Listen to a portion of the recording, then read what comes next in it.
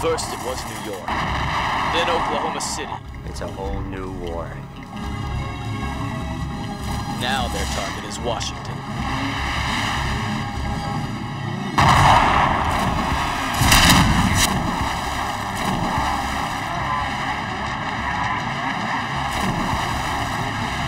You have a security breach.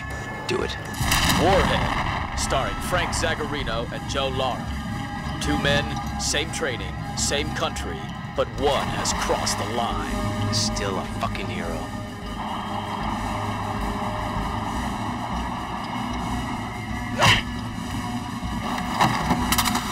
This all seems like overkill to me.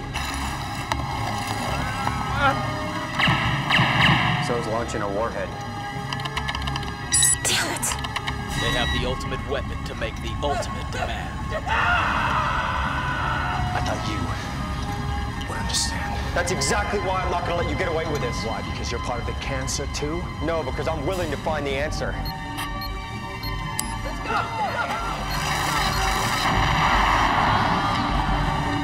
BJ, move!